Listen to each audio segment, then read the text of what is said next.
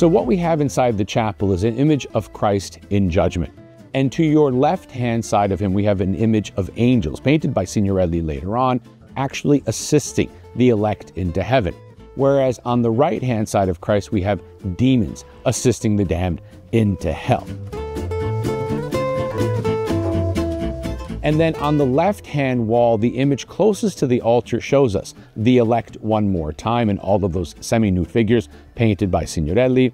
And the fresco before that, the acts of the Antichrist, and that rather weird looking Christ figure into whose ear the demon seems to be whispering.